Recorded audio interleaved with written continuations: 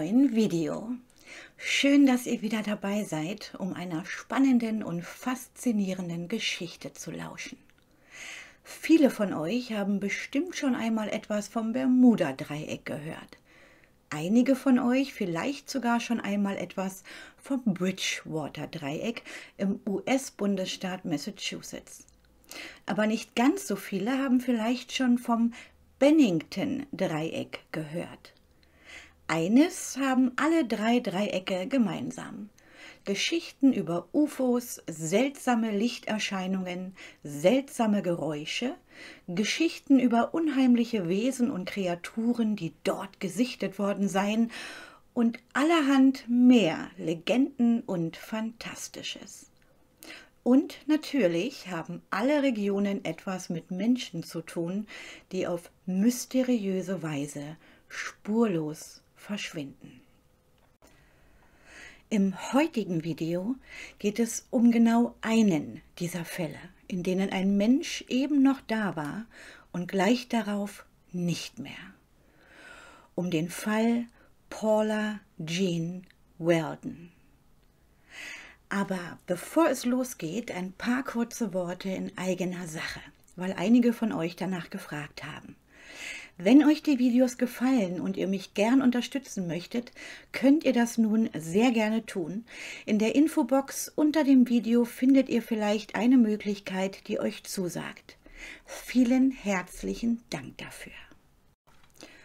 So, und nun entführe ich euch nach Neuengland an der Ostküste der Vereinigten Staaten in den wunderschönen Bundesstaat Vermont, einem der wohl schönsten Reiseziele Nordamerikas.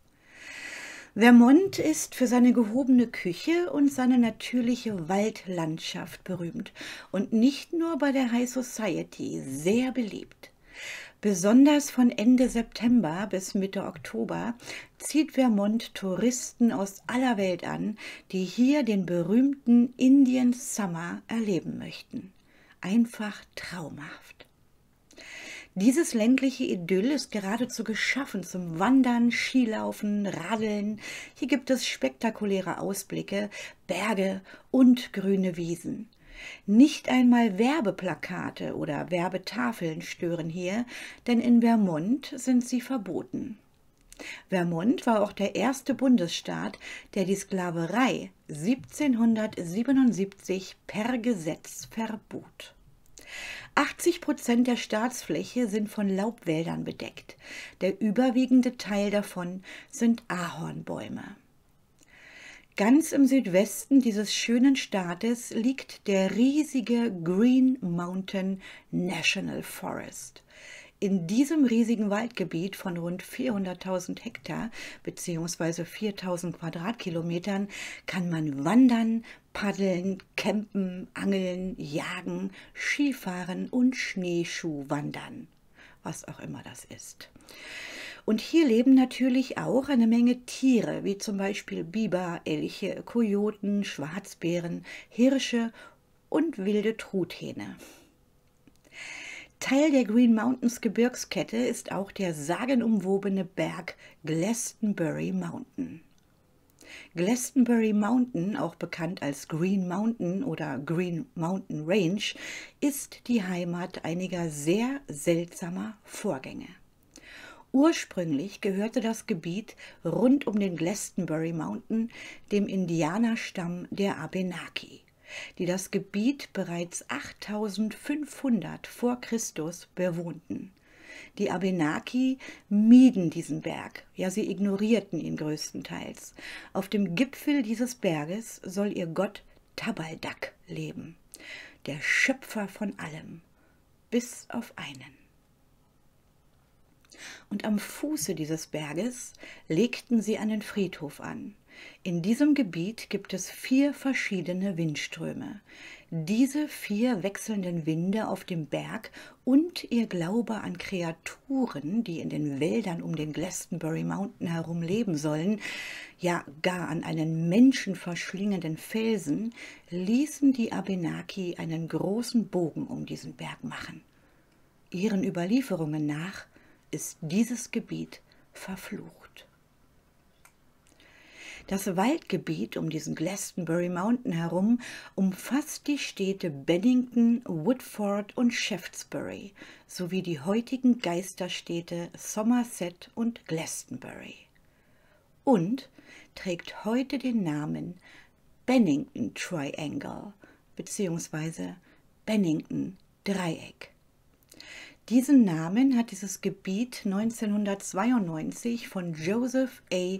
Citro erhalten, einem Romanautor und Radiokommentator aus Vermont, der sich der Geschichte und Folklore verschrieben hat und die okkulten, paranormalen und nicht erklärbaren Ereignisse seiner Heimat eingehend untersucht und dokumentiert.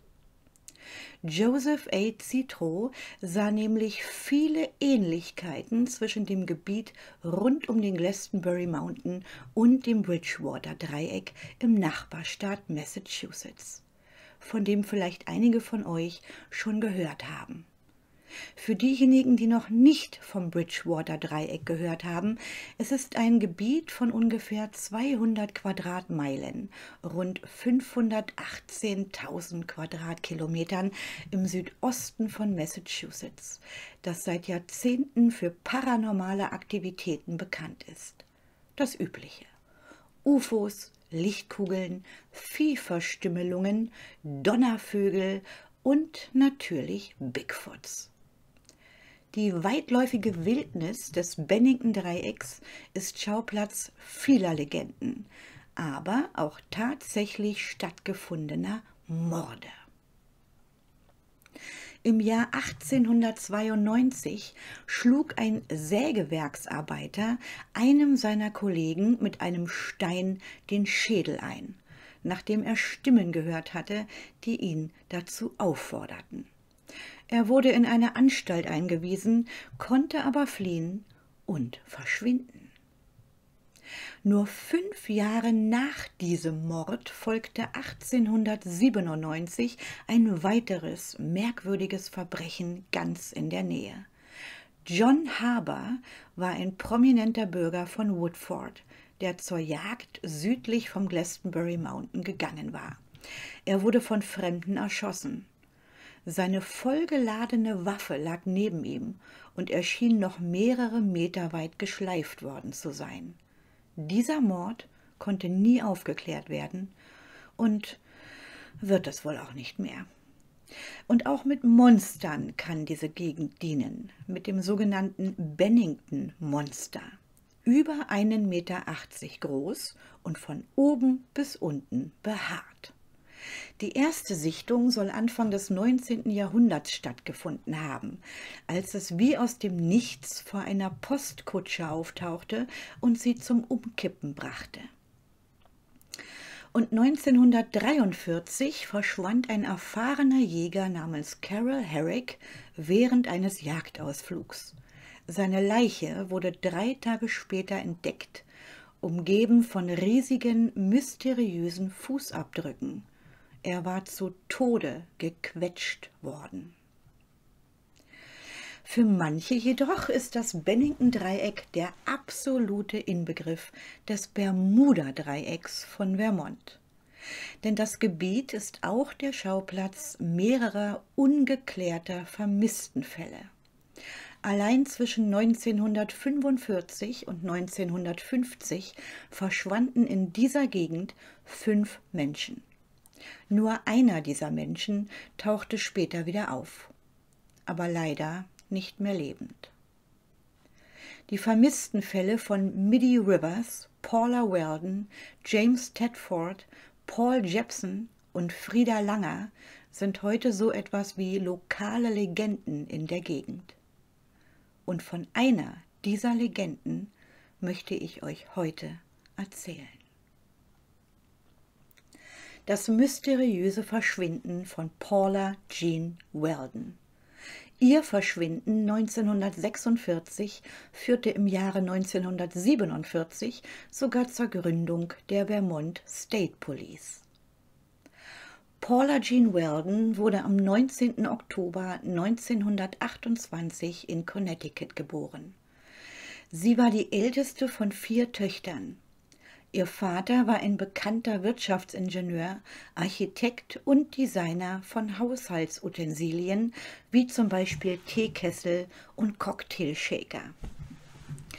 Paula Jean schloss 1945 die High School in Connecticut ab und wechselte auf das Bennington College in Vermont. Dieses College bietet eine weiterführende Ausbildung für künstlerische Berufe. Viele Dozenten sind selbst berühmte Schriftsteller, Bildhauer oder Maler. Paula Jean war hübsch und klug und sehr vielseitig interessiert. Sie ging gern schwimmen und spielte gern Gitarre. Außerdem war sie sehr im Zeichnen begabt und begeisterte sich für Wasserfarben, Ölfarben, Bleistift und Kohleskizzen. Sie hatte einem Wandmaler assistiert und auch selbst schon Schwarz-Weiß-Illustrationen angefertigt. Das war der Grund, warum sie Kunst im Hauptfach studierte. Nach einiger Zeit war sie mit dieser Entscheidung aber nicht mehr ganz so glücklich und überlegte angeblich, ihr Hauptfach zu wechseln. Weit weg von zu Hause und mit vielen neuen Freunden vom College entdeckte sie den Square Dance, die Botanik und das Wandern für sich. Außerdem arbeitete sie auch noch neben dem Studium in der College-Mensa abwechselnd in zwei Schichten, der Frühstücks- und der Mittagsschicht.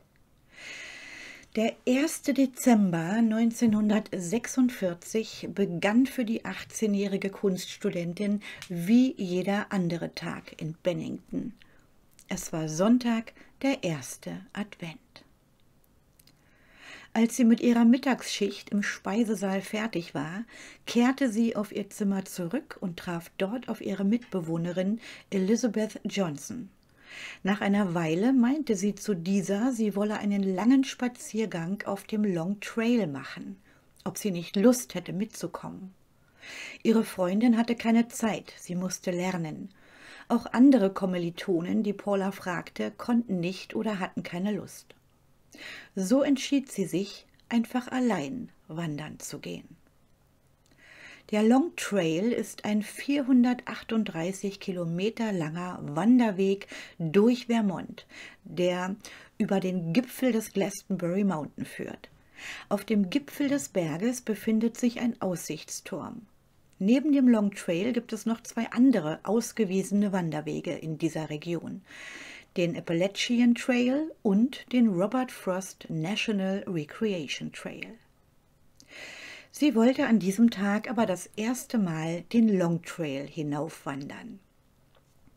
Als sie gegen 14.30 Uhr das College-Gelände verließ, trug sie blaue Jeans, weiße Turnschuhe mit dicker Sohle, eine goldene Damenarmbanduhr mit einem schmalen schwarzen Band und eine leuchtend rote Jacke mit Pelzkragen.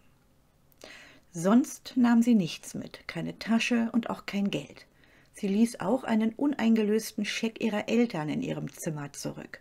Nichts deutete darauf hin, dass sie vorhatte, länger fortzubleiben.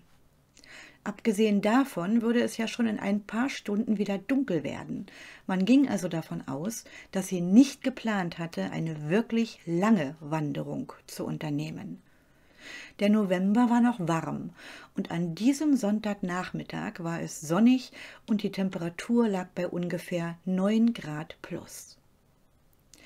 Als sie nun das Gelände gegen 14.30 Uhr verließ, wurde sie von einigen ihrer Mitstudenten gesehen.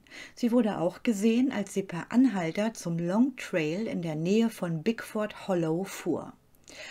Dass sie definitiv den Long Trail erreichte, bestätigte später ein älteres Ehepaar, das eine ganze Weile knapp 100 Schritte hinter Paula Jean in die gleiche Richtung unterwegs war. Die beiden sagten aus, dass sie auf diesem Weg um eine Ecke bog, und als sie dieselbe Ecke erreichten, war sie verschwunden. Einfach so. Das muss kurz nach 16 Uhr gewesen sein, denn sie sagten auch, dass es schon leicht dämmerte. Und Sonnenuntergang war an diesem 1. Dezember 1946 um 16.20 Uhr. Danach war und blieb Paula Jean Weldon verschwunden. Die Wetteraufzeichnungen dieser Tage besagen, dass nach 23 Uhr an diesem Abend eine Kaltfront durch dieses Gebiet zog und die Temperaturen in dieser Nacht auf minus 12 Grad sanken. Und nach einem sonnigen und doch noch relativ warmen Tag mit um die 10 Grad plus setzte auch in genau dieser Nacht der Schnee ein. Wenn Paula Jean dazu in der Lage gewesen wäre, Wäre sie nicht umgekehrt, als es dunkel wurde und es später sogar noch kälter wurde? Es war ein Gebiet, in dem sie sich nicht auskannte. Sie kann sich leicht verschätzt haben. Ich jedenfalls wäre schon bei den ersten Anzeichen von Dunkelheit direkt wieder umgekehrt, gerade weil ich mich dort nicht auskenne. Und naja, weil ich ein kleiner Angsthase bin. Paula Jean war jung und unerfahren, aber wäre es nicht trotzdem das naheliegendste gewesen? Sonntagabend machte sich noch niemand groß Gedanken. Man vermutete, dass sie vielleicht nach ihrem Spaziergang in die Bibliothek gegangen wäre. Aber als sie am Montag nicht zum Unterricht erschien, schrillten alle Alarmglocken. Die Schulleitung wurde informiert und ihre Eltern angerufen, ob sie vielleicht spontan zu ihnen nach Connecticut gefahren wäre. Natürlich war sie das nicht. Berichten zufolge brach Paula Jeans Mutter zusammen, als sie hörte, dass ihre Tochter vermisst wurde. Ihr Vater William Archibald Welden fuhr noch am selben Tag von Connecticut nach Vermont, um nach seiner Tochter zu suchen. Studenten, Einheimische und Freiwillige aus Bennington und den Nachbarorten halfen sofort bei der Suche. Fotos von Paula Jean wurden in Umlauf gebracht und noch am Montagabend wurde über ihr Verschwinden in den Abendnachrichten berichtet. 1946 gab es in Vermont noch keine staatliche Polizei, nur lokale Sheriffs. Der Gouverneur forderte Polizisten aus New York und Massachusetts an, um bei der Suche zu helfen. Daraufhin wurde eine umfangreiche Suchaktion durchgeführt, an der mehr als 1000 Personen teilnahmen. Es wurden Flugzeuge eingesetzt und natürlich Hunde. Sogar das FBI wurde hinzugezogen und es wurde eine Belohnung in Höhe von 5000 Dollar in Aussicht gestellt für Hinweise zu ihrem Verbleib. Das ist immens. Heute wären das ungefähr umgerechnet 70.000 Euro. Aber es gab einfach keine einzige Spur von diesem 1,65 Meter großen und 55 Kilogramm leichten blonden Mädchens. Ihre unglückliche Wanderung wurde zum spannendsten Fall im Bennington-Dreieck, vielleicht weil sie ein so junges und schönes Mädchen aus einer prominenten Familie in Connecticut war. In mehreren Zeitungsartikeln über diesen Fall wurde immer wieder hervorgehoben, dass es zu dieser Zeit keine professionelle Polizei gab und die Suche, zumindest in den ersten Tagen, von einer höchst unorganisierten Gruppe von Freiwilligen durchgeführt wurde. Aufgrund dieser sehr negativen Medienberichterstattung über die angeblich so chaotische Suche wurde 1947 die Vermont State Police gegründet damit so etwas nie wieder vorkommt. Und bis heute ist sie für alle Such- und Rettungsaktionen in der Wildnis von Vermont zuständig. All diese Bemühungen waren jedoch vergeblich. Tage und Wochen vergingen, ohne eine Spur von Paula Jean. Es gab ein paar Leute, die glaubten, sie gesehen zu haben. So sagte eine Kellnerin aus Fall River in Massachusetts zum Beispiel aus, sie bedient zu haben. Sie habe aufgeregt gewirkt und sei in Begleitung eines Mannes gewesen. Diese Spur kam ihrem Vater sehr vielversprechend vor und er fuhr sofort nach Fall River, ohne das irgendjemandem mitzuteilen. Er blieb 36 Stunden lang fort was manche Leute auch wieder sehr merkwürdig fanden und sogleich den eigenen Vater verdächtigten, selbst etwas mit dem Verschwinden seiner Tochter zu tun zu haben. Ja, ja, Zeiten ändern sich, Menschen nie. Angeheizt wurde dieses Gerücht leider auch noch dadurch, dass herauskam, dass sich Vater und Tochter angeblich gestritten hatten und sie eine Woche zuvor zu Thanksgiving nicht nach Hause zu ihrer Familie gefahren war. Und dadurch, dass ihre Mitbewohnerin Elizabeth Johnson später gesagt haben soll, dass Paula Jean ein wenig deprimiert gewirkt haben soll in den Tagen vor ihrem Verschwinden. Wie dem auch sei, man weiß nicht, was man von diesen Berichten glauben soll, beziehungsweise wie viel Gewicht man ihnen geben sollte. Oft wird einfach viel zu viel in etwas hineininterpretiert, was am Ende gar keine Rolle gespielt hat. Auch ihr Vater sprach von einem jungen Mann aus ihrer alten Heimat Connecticut, den sich die Beamten einmal näher anschauen sollten. Andere wiederum behaupteten von einem jungen Mann aus Kanada zu wissen, zu dem sie hätte Kontakt gehabt und zu dem sie hätte ausreisen können oder wollen. Ihr Vater stützte sich auf die Theorie, dass eventuell ein Mann hinter der Sache stecken könnte, auch durch die Aussagen eines Wahrsagers, der eben genau dies behauptete. Er sagte, sie wäre bei einem Mann. Nun ja, auf jeden Fall konnte nie auch nur irgendetwas von alledem belegt oder bewiesen werden. Und vor allem brachte es niemanden der Lösung näher, wo Paula Jean denn nun war. Tatsache ist und bleibt nur diese. Sie ging auf dem Long Trail wandern, wurde dort das letzte Mal lebend gesehen und verschwand, als sie um eine Ecke bog, innerhalb weniger Minuten, so als wäre sie nie dagewesen. Am 15. Dezember 1946 wurde die Suchaktion eingestellt. Der Winter war nun gnadenlos in dieses Gebiet eingefallen und der Schnee, die Winde und die Kälte machten jede weitere Suche unmöglich. Paula Jeans Vater packte die Sachen seiner Tochter und verließ Vermont.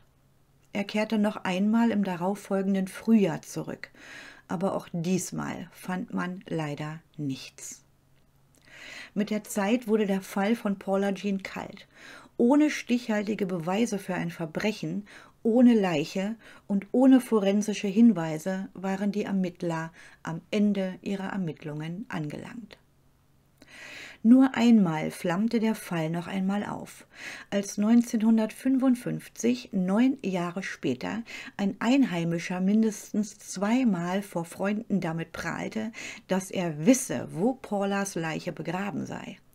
Leider war dieser Mann ein Aufschneider und Wichtigtuer, der rein gar nichts wusste und rein gar nichts zum Fall beitragen konnte.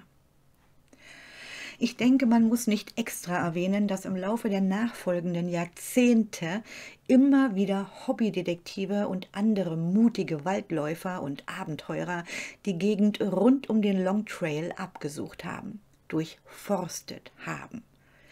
Bis heute haben aber auch sie nicht einen Knochen oder ein Kleidungsstück oder sonst etwas gefunden, was auf den Verbleib von Paula Jean Weldon hindeuten könnte. Wie schon gesagt, vielleicht ist ihr mysteriöses Verschwinden das bekannteste, aber es ist bei weitem nicht das einzige. Zwischen 1945 und 1950 verschwanden hier fünf Menschen. Aber bis heute sollen in dieser Gegend bis zu 40 Menschen spurlos verschwunden sein. Je weniger bekannt ist und je weniger Spuren es gibt, umso seltsamer natürlich die Theorien und Spekulationen. Menschenverschlingende Felsen und Löcher, UFO-Entführungen, Parallelwelten und Tore zur Anderswelt. Denn Ähnlichkeiten bestehen in allen bzw. in einigen dieser seltsamen Geschehnisse. Menschen verschwinden von einer Sekunde auf die nächste. Zumindest bei mindestens drei dieser Fälle spielt die rote Kleidung eine Rolle. Man sagt, wenn man dort wandern geht, sollte man nichts Rotes tragen. Außerdem verschwanden diese Menschen, soweit bekannt, jedes Mal zwischen 15 und 17 Uhr am Nachmittag. Jedes Mal gab es kurz nach dem Verschwinden einen Wetterumschwung, Der Wind drehte sich, die Temperatur sank und es fiel Regen oder Schnee. Bis auf eine dieser vermissten Personen wurde keine einzige jemals wieder gefunden, nicht ein Stück von ihnen. Neuere Berichte aus eher moderneren Zeiten schildern Vorfälle, bei denen innerhalb weniger Sekunden oder Minuten ganze Stunden vergehen bzw. verloren gehen. Einer dieser Berichte schildert einen Vorfall, in dem ein Mann auf der einen Seite des Glastonbury Mountain die Orientierung verlor und sich am nächsten Tag auf der anderen Seite des Berges wiederfand. Aber zurück zu Paula Jean Weldon. Was ist mit diesem jungen Mädchen geschehen? Kann es sein, dass sie sich zu weit vom Pfad entfernt hat? Dass sie vielleicht Schutz abseits des Weges suchte, um dort auf den Morgen zu warten? Dass sie dann dort an Unterkühlung starb? Auf dem Glastonbury Mountain gibt es eine gefährliche Tierwelt, aber Angriffe von Tieren hinterlassen für gewöhnlich auch viele Beweise. Bären schlucken im Allgemeinen keine ganzen Personen. Auch die Theorie eines Serienmörders gibt es natürlich. Aber es wäre schon sehr riskant, zuzuschlagen, wenn andere Menschen in Sicht oder Hörweite sind. Und es gibt keine Berichte darüber, dass kurz vor einem dieser Verschwinden oder während eines dieser Verschwinden Schreie oder ähnliches gehört wurden. Andere machen einen indianischen Fluch oder das Paranormale verantwortlich und behaupten, der Ort sei ein Fenster zum Unerklärlichen und erklären diese Vorkommnisse mit der besonderen und dunklen Natur dieses Berges. Was denkt ihr? Geht am Glastonbury Mountain etwas Seltsames vor? Oder sind all diese Geschichten und Legenden, die sich um das Bennington-Dreieck ranken, nichts weiter als Geschichten und Legenden? Und für all das Geschehene gibt es logische und vollkommen rationale Erklärungen? Aber wie dem auch sei, Geschichten und Legenden sind wichtig. Sie halten die Erinnerung an die Vermissten lebendig und sorgen dafür, dass man sie nicht vergisst und ihrer gedenkt, gerade weil es keinen anderen Ort gibt, an dem man dies tun kann, außer in unseren Gedanken.